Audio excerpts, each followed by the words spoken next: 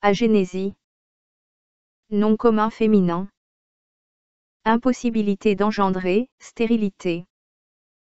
Autre définition, absence de formation d'un organe ce qui aboutit à une monstruosité. Paronyme, eugénésie.